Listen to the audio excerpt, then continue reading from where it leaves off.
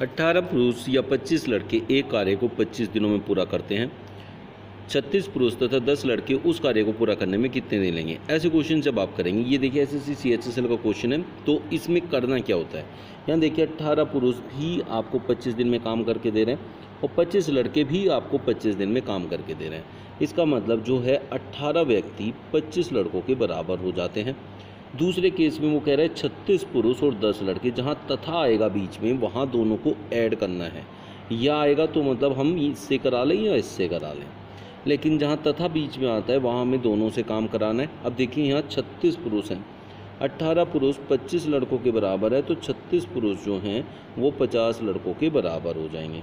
तो यहाँ छत्तीस पुरुष की जगह अगर मैं पचास लड़के लिख देता हूँ और साथ में मेरे पास यहाँ दस लड़के और हैं, इनको भी मैं ले लेता हूँ तो टोटल साठ लड़कों को यहाँ काम करना है।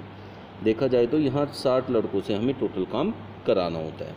अब यहाँ देखें जिससे आपको काम कराना है, हमें लड़कों से काम कराना है, हमने लड़कों में कन्वर्ट कर दिया है सभी को।